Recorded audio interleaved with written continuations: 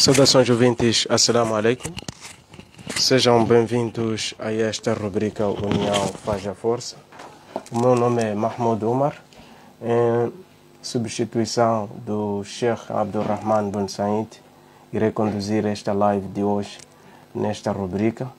Primeiro, pedir desculpas pelo nosso atraso exagerado, porque tivemos alguns problemas técnicos eh, a nível do estúdio, assim como também problemas ligados à rede da, da, da, da, digamos, de telefonia móvel que nós usamos para transmitir esses programas.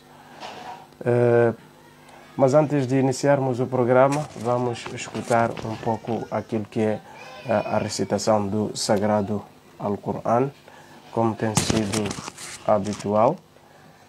O Sheikh Abdurrahman Ben Said não está em condições hoje para transmitir este programa. Bom, vamos escutar o Corão na voz do, do irmão Nurdini Dauda, que vai nos recitar o Surat Al-Nahl.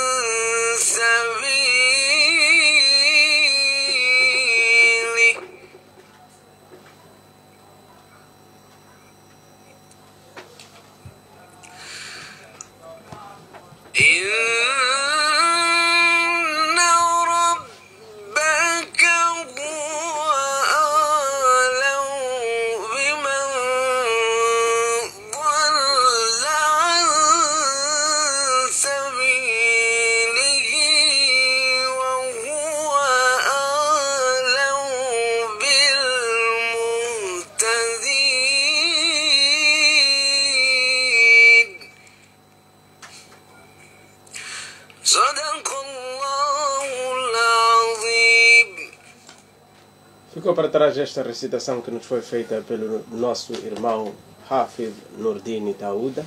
Ele efetuou-nos a recitação do capítulo 16, versículo 125 do Sagrado Alcorão.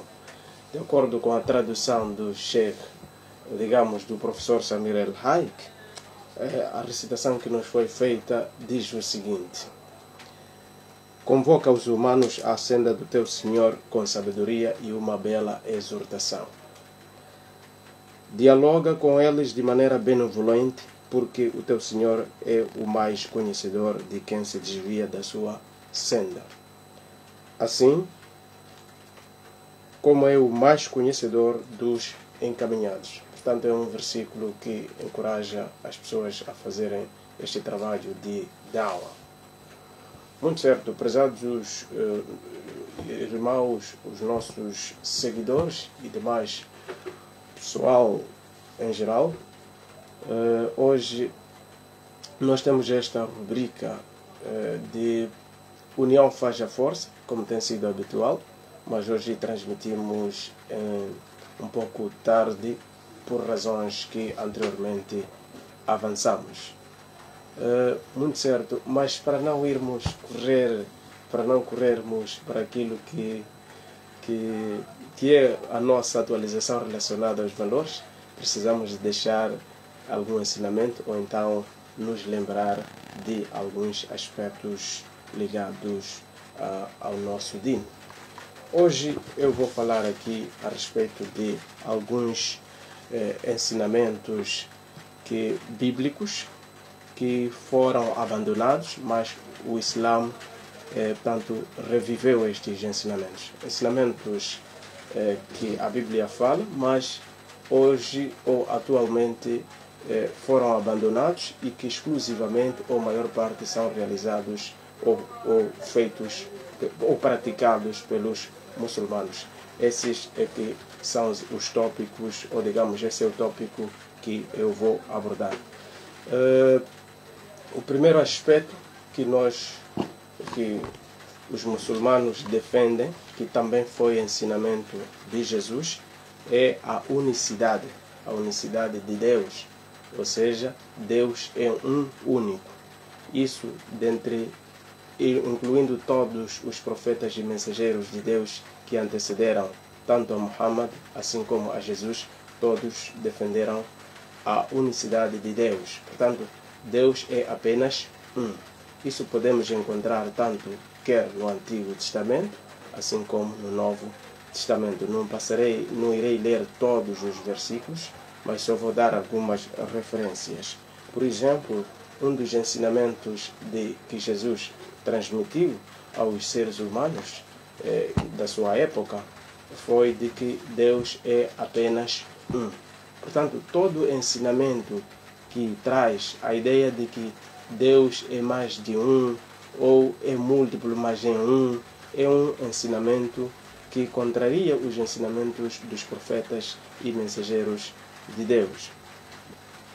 Só vamos citar um exemplo onde Jesus fala no Marcos 12, versículo 29. Isso é, é, é Novo Testamento. Marcos 12, versículo 29, diz o seguinte, de acordo com a Bíblia que eu tenho, diz o seguinte: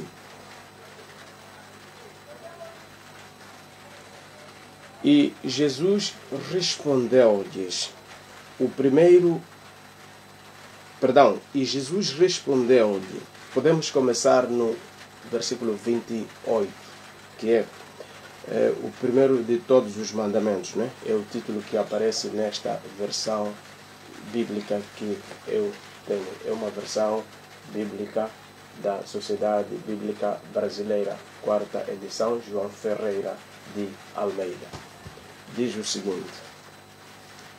Marcos 12, versículo, versículos 28 e 29.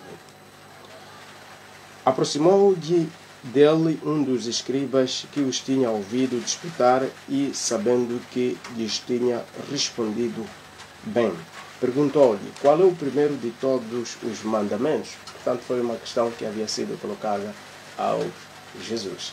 E a resposta dele foi versículo 29. E Jesus respondeu-lhe: O primeiro de todos os mandamentos é: Ouve Israel. O Senhor nosso Deus é o único Senhor. Portanto, este é o ensinamento que os muçulmanos também defendem. Mas atualmente há alguns que defendem que Deus são três, mas em um.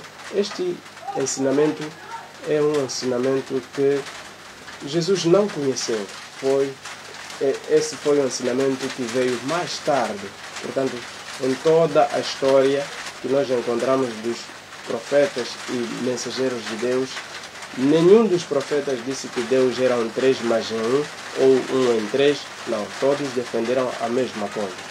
É, podemos também ver no Antigo Testamento, isso Eu vou deixar o, o versículo, pode-se ver isso no Deuteronômio 6, versículo 4, mas isso não vou ler, vou me centrar naquilo que foi o ensinamento do Jesus. Atenção que todos os muçulmanos acreditam em Jesus. Todo aquele que diz que é muçulmano e não acredita em Jesus, este não é muçulmano. Este é o primeiro aspecto. Os muçulmanos acreditam em Jesus. Muito certo. Este é o primeiro ensinamento que gostaríamos de deixar que atualmente alguns que dizem que são seguidores de Cristo eh, não seguem este, este, este conceito, eles têm um outro conceito que é Deus são três em um. Portanto, mas em nenhuma vez na sua vida Jesus havia dito isso. Podemos ver em vários versículos bíblicos onde o próprio Jesus fala de, de que Deus é apenas um. Podemos ver eh, João 17 e 3 e até o próprio Paulo que trouxe este ensinamento que trouxe alguns ensinamentos um pouco diferentes daquilo que são ensinamentos de Jesus. Ele fala no, na carta, eh, onde ele, no 1 Timóteo 2, versículo número 5, que existe um único Deus, um só mediador entre Deus e homens, e que é, e, que é Jesus Cristo, homem. Portanto, este é o primeiro ensinamento que, bíblico que foi reavivado pelo Islã. O Islã no seu capítulo número 100 no, no Alcorão, o Islã defende, através, do, por exemplo, o versículo, eh, versículos 1 até 4 do capítulo 112 do Alcorão, diz Bismillahirrahmanirrahim, em nome de Allah, o misericordiador, o misericordioso. Hu Allahu ahad, disse, diz, diz, ele é Allah, o único. Esta foi uma das questões também que havia sido colocada ao Muhammad, que é para quem é esse Deus? Quem é este Deus que você está aqui a falar. E quando ele respondeu, foi dito para responder que Ul hu Allahu ahad. diz ele é Allah, o único. Allahu samad, absolutamente dependente. Lam yalid wa lam yulad. Não gerou e não foi gerado. Walam yakul lahu kufuwan ahad e não há ninguém igual a ele. Muito certo. O segundo ensinamento que gostaríamos de deixar é a forma de cumprimentar um ao outro. Veja que Jesus, é, a forma de cumprimentar aos seus discípulos, ele também dizia exatamente como os muçulmanos dizem, que é Assalamu alaikum, que é que a paz esteja convosco. Podemos ver isso no Lucas 24, versículo número 36. Lucas 24, versículo número 36. Onde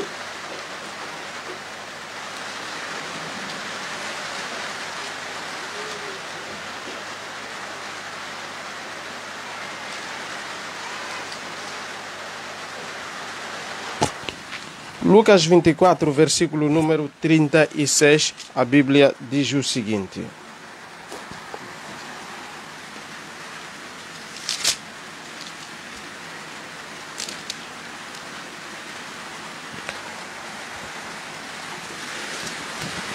E falando ele dessas coisas, neste, neste caso, falando ele, Jesus, neste caso, dessas coisas, o mesmo Jesus se aproximou no meio deles. Não é? repito, e falando ele dessas coisas, o mesmo Jesus se, se apresentou no meio deles e disse: Disse-lhes, paz seja convosco.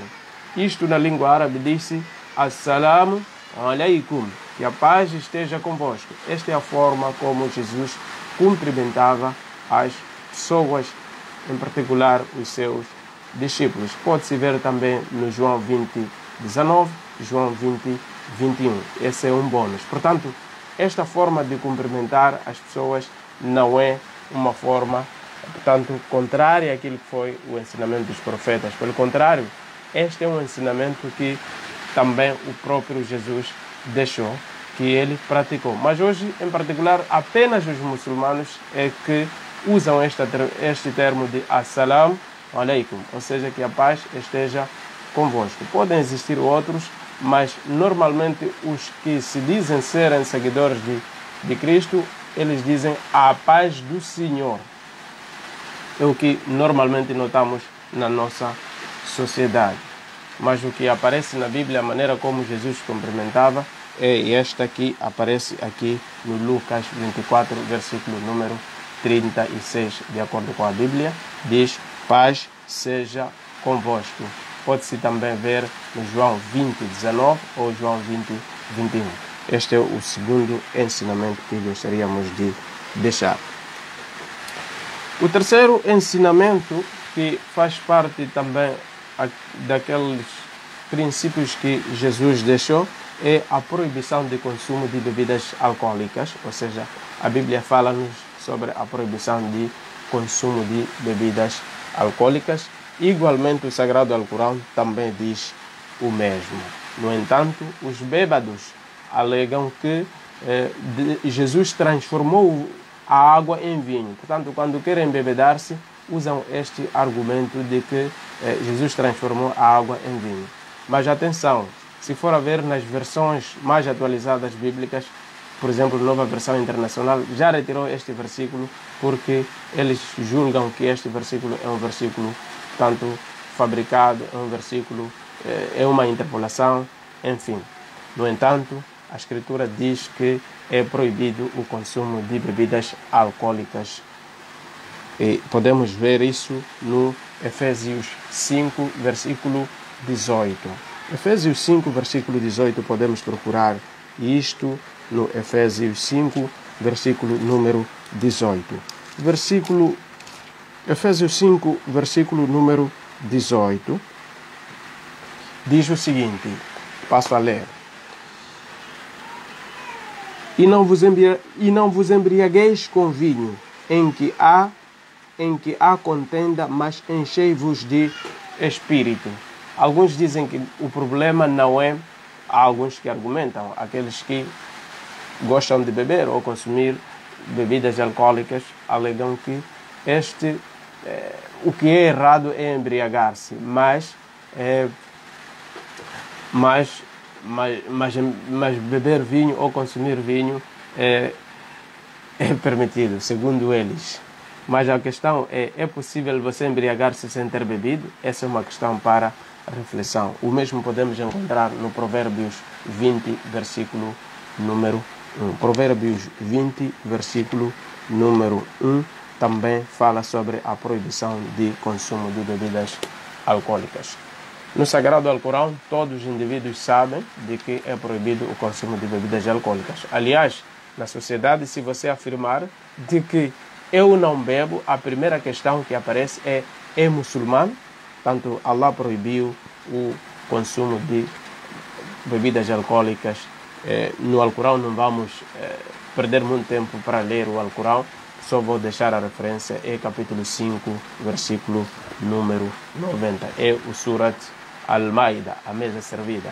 Capítulo 5, versículo número 90, é onde Allah proíbe o consumo de bebidas alcoólicas, que igualmente é, é, é aquilo que vem sendo defendido por alguns versos que encontramos na Bíblia que fizemos referência.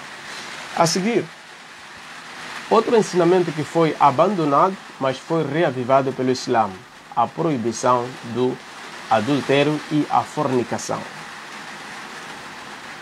A Bíblia fala no Mateus 5, versículos 27 até 30. Não vou ler todo esse versículo, mas vou trazer o teor.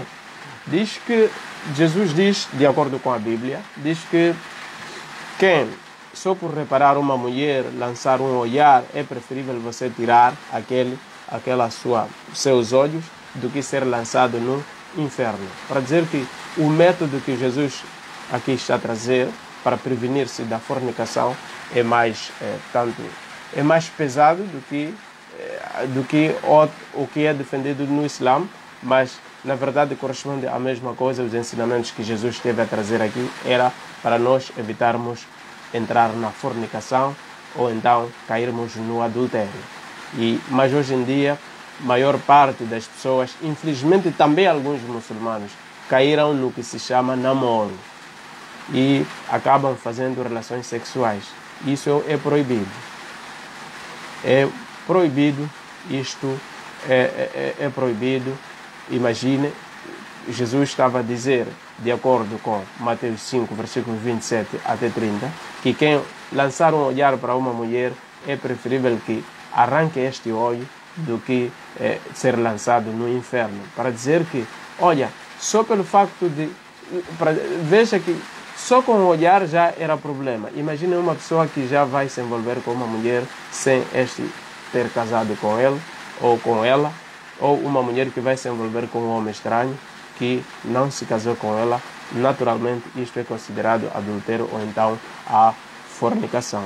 Para os muçulmanos, isso está claro no capítulo 17, versículo número 32 do Sagrado Alcorão, que é o Surat Al-Isra, portanto, que diz o seguinte: "Wala taqrabu zina innahu kana fahishatan wa sabila". Não te aproximeis do adultério, porque este é uma obscenidade e é um mau caminho. E, e também fala também no Surat Al-Furqan, que é o capítulo que tem a ver com capítulo que uh, capítulo 25 versículo número 68 o alatas nun quando Allah fala de características dos verdadeiros servos de, seus servos ele diz que uma das características é que não cometem adultério ou então esses não cometem a fornicação. Esse é portanto aquele que diz que namoro é legal ou envolve-se no namoro e envolve-se com mulher sem este ter cometido eh, este, sem este ter cometido sem este, sem este ter casado naturalmente este indivíduo está a contrariar os ensinamentos dos profetas e mensageiros de Deus. Se realmente quer a salvação então deverá seguir aquilo que foram os ensinamentos dos profetas e mensageiros de Deus. Os ensinamentos do Islã vão de acordo com os ensinamentos de Jesus. Portanto os muçulmanos estão de acordo com exatamente o que, é que Jesus esteve a dizer, que quem lançar o olhar, então é preferível que este arranque o olho, de acordo com a Bíblia.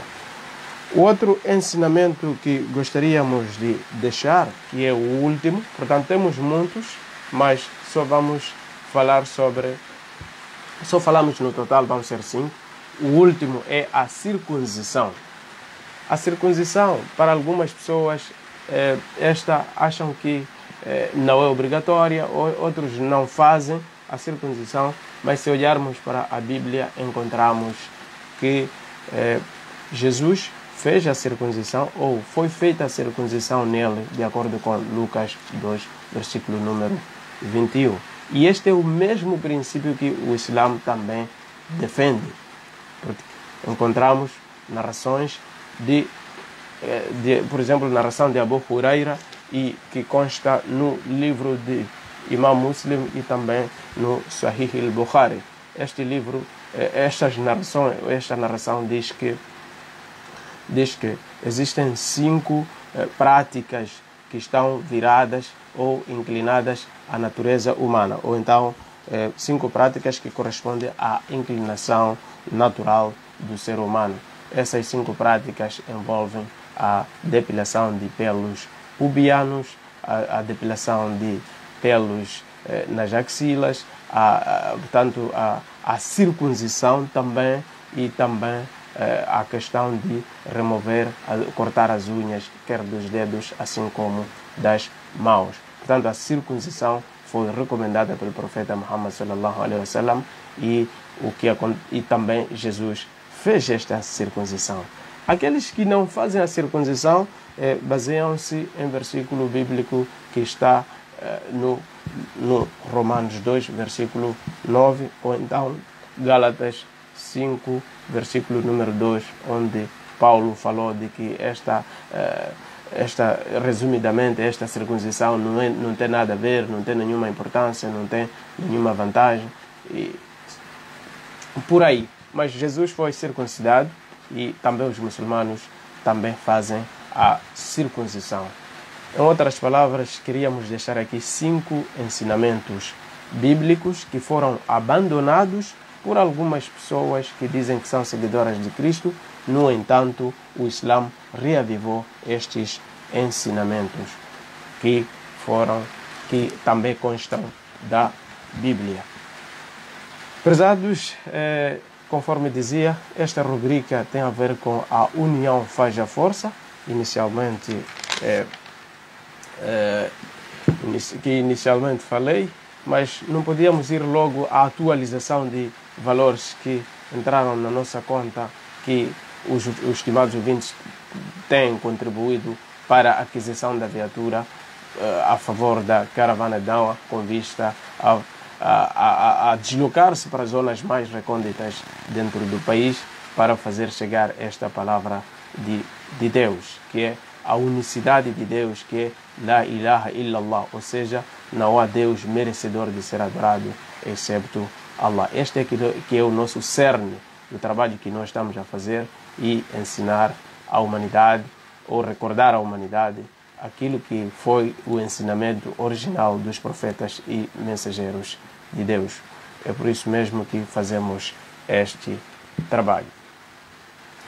Estimados ouvintes, uh, estimados ouvintes, uh, uh, termino por aqui, mas antes, em termos daquilo que era a palestra, termino por aqui, mas vamos atualizar vamos atualizar aquilo que eram as contas do, do, do contas eh, ligadas a esta angariação de fundos para aquisição de uma viatura a favor da caravana Dawa com vista a se deslocar para mais zonas recônditas do país com vista ainda a, a, a, a, a divulgar o Islã para muitos que ainda não receberam estas eh, este Islã. E, bom, muito certo. Oh, mas antes, mas antes vou tentar entrar em contato com o meu companheiro Abdurrahman Ibn Said, que hoje não está em condições para poder eh, transmitir este programa, que habitualmente é o programa que ele eh, tem conduzido. E Aproveito também informar aos estimados ouvintes que amanhã, embora não tenhamos divulgado na nossa página, amanhã, inshallah, a partir das 13h45 em Moçambique, teremos um programa radiofônico que vai ter eh, lugar eh, sob o tema a eutanásia na perspectiva islâmica. Este é o tema que vai ser abordado. Estimado ouvinte, é convidado a acompanhar. Eh, a partir das 13 horas e 45 minutos em Moçambique. Por razões de alguns problemas que estamos a enfrentar na nossa maquinaria, em termos de computador, precisamos. Infelizmente não conseguimos produzir o póster que habitualmente temos feito, mas estamos a enviar esforços para partilhar na página a respeito desta informação que eh, amanhã, inshallah, teremos o programa radiofônico. Mas para as contas desta semana, eh, apraz-me informar que na live anterior, na semana passada, no dia 23 de outubro de 2021, o valor que havia sido anunciado foi de 82.831 meticais e 20 centavos. Este é o valor que havia sido anunciado na live anterior do dia 23, ou digamos no sábado anterior. Ao longo desta semana recebemos no total 9.495 meticais e 15 centavos. Ao longo desta live, não sei se alguém manifestou este interesse de, de, de, de, de contribuir ao longo desta live. O número está exatamente neste, no título desta, desta live já deixamos alguns números tanto de para casos de empresa ou então ponto 24 ou então ou também a conta bancária para quem está no estrangeiro poderá usar o Western Union mas antes deverá comunicar com a caravana Down com base eh, no número este. Uh, Deixe-me agora entrar em contato com o, o irmão, eh, irmão Abdurrahman Ibn Said para nos atualizar aquilo que foi o valor que recebemos durante esta, esta live. Inshallah.